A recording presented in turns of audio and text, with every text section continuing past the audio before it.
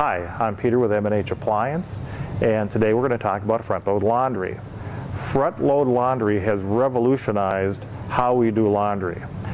The front loading machines are gentler, they're much more energy efficient, they will hold more laundry, they just do a wonderful job. There are always a number of cycles that you can choose on the machine and what happens is instead of you selecting load level, water temperature, and spin speeds, the machine itself will automatically determine what to do.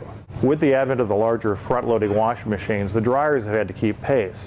The dryers themselves are physically bigger, and in many cases, they have sensors in them to dry the load perfectly. When you choose a cycle on the dryer, it will automatically figure out a temperature, it will automatically figure out how long to run the load. There also is time dry if you're doing a small load, and some of the dryers, including this one, has a steam option so that if you have clothes that are wrinkled or that you want to freshen up, it'll actually spray a little bit of moisture into the dryer and loosen up the wrinkles and free them.